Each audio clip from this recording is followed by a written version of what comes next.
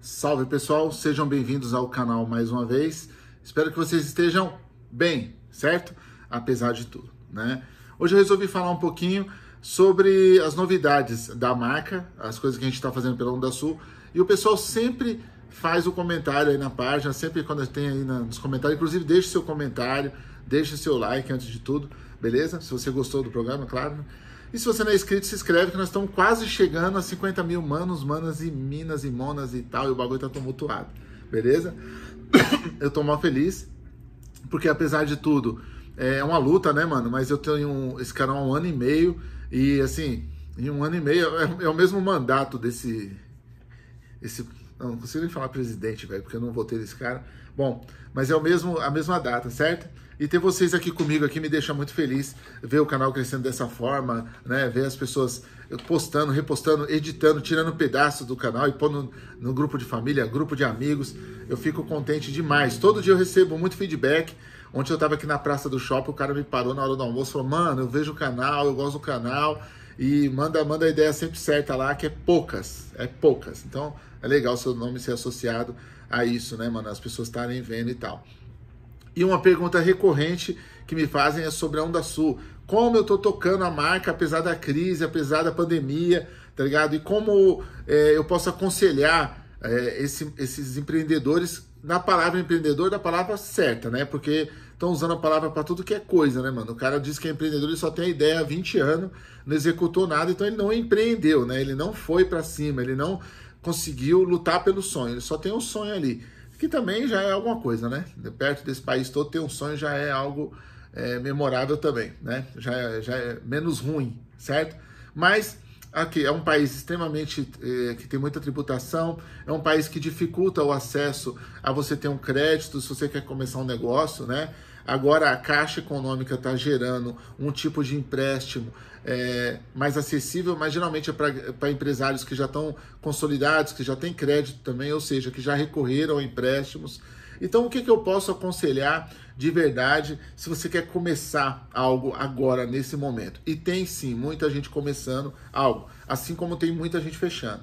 É assim, mano, no capitalismo, no mundo moderno que a gente está, muita gente está fechando, outros estão aproveitando para abrir, outros estão comprando a mesa barata, estão comprando, pegando aquele ponto que sempre sonharam, que fechou. Infelizmente, pela destruição de sonho de alguém foi fechado, e outro cara vai e aluga aquele ponto mais barato e consegue é, financiar o seu negócio, né?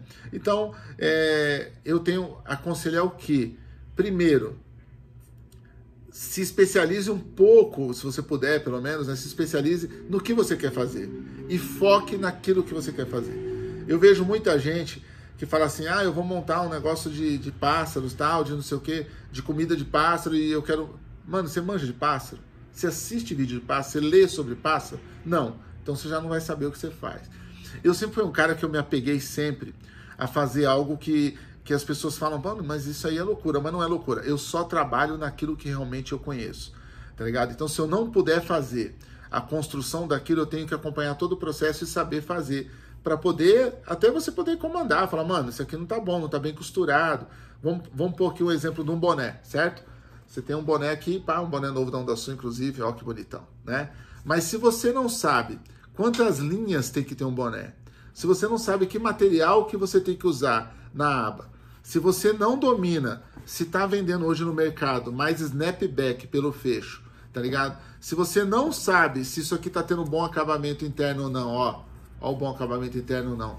Se você não sabe que tipo de filtro vai embaixo, de filtro, de material, para poder dar conforto na cabeça do cara, rapa, tem como fazer boné difícil, né? Então, é, eu entendo que a gente acaba fazendo muita coisa, as pessoas têm que. No Brasil, ainda mais, tem aquela civirologia, mas você, em algum momento, tem que se especializar. Por exemplo, isso aqui é um boné bordado numa tag, certo? Ó, ele é bordado num outro pedaço de tecido e aí ele é colado aqui, beleza? Aí você fala, pô, mas tem um bordado em volta, tal, tem, mas ele é feito antes no outro tecido.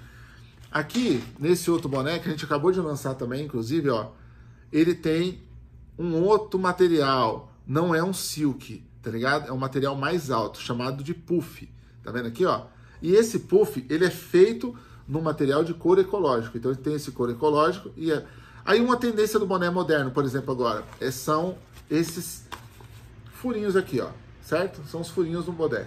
Tamo muito, tá muito calor. Então, quando eu fui fazer, eu falei, meu, eu tenho que prestigiar o boné normal, que fecha todo, o cara dá na cabeça, e pro Valo Velho, para quermesse, voltar, que é outra coisa também que eu aconselho. Conheça o seu público.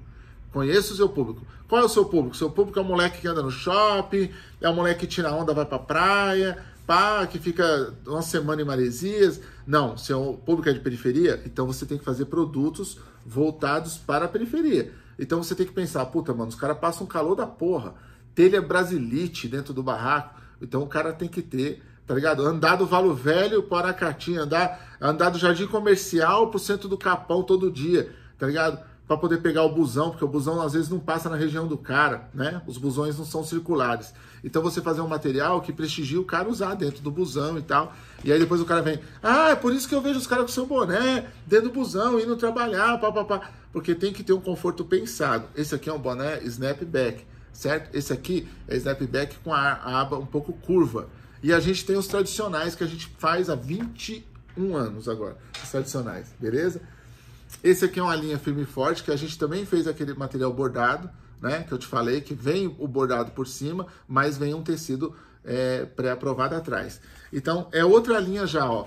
Na frente ele tem um forro para deixar confortável a cabeça do cara. Tem cara que tem problema, mano, quando ele soa, ele fica. Eu, eu sou também, eu fico irritado na frente. Ou seja, você pensar, rapaz, eu tô dando um exemplo dos bonecos tá aqui perto, né? Mas é você pensar se você conhece seu público. Né? Tem um cara amigo meu que ele faz bombons, ele vende bombom nos comércios, então eu gosto muito do trabalho dele, porque ele, ele tem um bombom amargo para quem não come açúcar. Ele tem um bombom com sabor de maracujá, tá ligado? Para quem não gosta de sabor artificial de morango, essas coisas. Então você vê que o cara tá pensando no público, ele, ele diversificou a linha dele. A mesma coisa a gente. É, no meu caso, eu posso falar bem de boné por causa que eu fabrico isso, certo? Ó, esse boneco é um boneco que eu fiz até com a etiquetinha aqui com o Ferrez Thor, que é uma tiração de onda. E o rosto desenhado pelo de Maio, né? Então, como que eu vou fazer um cara gostar do trabalho, do meu trabalho, se eu não diferenciar, tá ligado? Então, já que é um boné de escritor, tá ligado? Geralmente outro escritor, outro leitor que vai usar, eu fiz uma linha mais clássica, eu não fiz uma linha é, muito rua como essa, tá ligado? Tom de vermelho, tom preto. Então eu meti um tecido de moletom, tá ligado? Para poder dar aquele conforto do cara que lê em casa, do cara que tá indo no mercado, tiozinho que vai comprar, tiozinho que vai me ler, a tiazinha que vai me ler, vai no mercado fazer compra, certo? E, e outra coisa também, o desenvolvimento dos seus produtos. Como que você desenvolve seus produtos? Qual a sua referência? Você vê muita revista, você acessa o Pinterest aí na internet, você vê galeria de arte, você vai atrás dos caras que grafita, tá ligado? Você começa a apreciar o grafite, o picho, a arte em geral, quadro, literatura. Que tipo de fonte você bebe para fazer um, um projeto? Se você não beber de fonte cultural, artística, você não vai saber desenvolver um bom produto. Isso eu estou falando na linha de desenvolvimento artístico, né? Roupas, livros, essas coisas. Por exemplo, esse aqui é um boné novo da Onda Sul que vai sair ainda, tá ligado? É a coleção Capão Quistão, mano. Olha que louco, ó, Capão Quistão certo? Olha a fonte que lembra o quê? Se eu estou falando de Capão-Quistão, Afeganistão e pá, então a fonte vem nessa bebida também, certo? Esse é um boné desenvolvido pelo Ratones. Então eu dei as ideias, o Ratones foi lá e pu, pu, pu, pincelou. Hashtag Imortal do Capão, que é o, jeito que os caras chamam da Sul também aqui. Imortal do Capão, né? E o símbolozinho do lado, pá. Atrás, a quebrada, ó. A quebrada aqui atrás, pá. Periferia, não precisa mais nada, né, mano? Precisa, já tá poluído. Se você pôr muita coisa, você polui o produto, certo? Que é uma coisa que também você tem que pensar. Você não faz um produto para vender para você.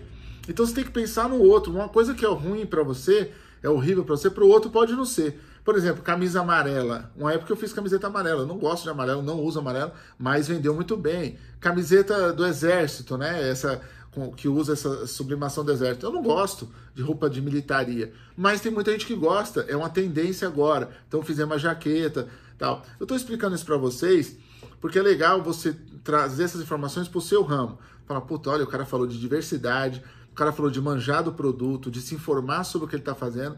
Participar dos meios que fazem isso também. Então eu fui a desfiles, mesmo sendo fora daqui é, da periferia, eu fui em desfiles, eu conversei com gente de marca, tá ligado? Eu sempre me envolvi, fui lá conversar com os caras da Cavaleira, fui conversar com o Hanna, que é o filho do Turco Louco, pô, como que faz, como que é, pá. Conversava muito com a Ice Blue também, quando ele tinha a marca dele, né? E aí com o meu parceiro Cascão, que tava com a vida louca, a Irmandade com o Matheus, então eu me envolvi com os caras da hora, mesmo no comecinho ali, os caras falando, ih, mano, já vem o FES, já vai falar de roupa, já vai falar de livro, já vai tumultuar tudo.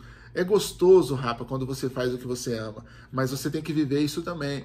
É, e, renovar coleções, renovar produtos. No caso da marca, sempre tem coleções novas, ideias novas surgindo. Acabamos de lançar uma coleção de camisetas com Fralvez. Né? O Fralvez fez uma coleção moleque novo, aí falou, Fez, tem como fazer umas roupas? Eu falei, opa, cria aí pra nós. Então tem uma camiseta com pipa, os caras soltando pipa. Tem outra que é um motoboy empinando, tá ligado? Os moleques causando na quebrada. Então a outra é o símbolo de luta. Atrás tem um movimento, né, mano? Vidas Negras Importam, o um movimento de luta. Então é você estar tá atualizado também, atualizando a marca. Beleza, rapa? Se você já gosta da Onda Sul, deixa seu like aí. Me diz o que você acha da marca, se a gente acerta, se a gente erra. E também diz aí nos comentários qual é o seu ramo. Qual é o seu negócio? Seu negócio é editar vídeo? Seu negócio é ser cineasta? Seu negócio é é ser músico, de repente você é um cantor, você é um violonista, é, você é um pianista, ou você pinta quadro, mas espero que as referências que eu dei hoje aqui é, sejam boas para você.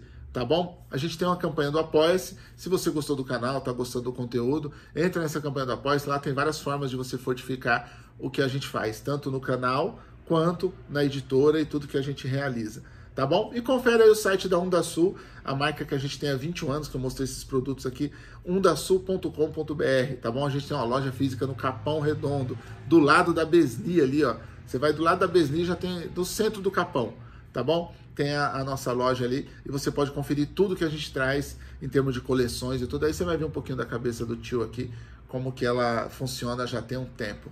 Axé para vocês, bons negócios, boas ideias e vamos em frente que a gente não pode parar, rapa. Tamo junto.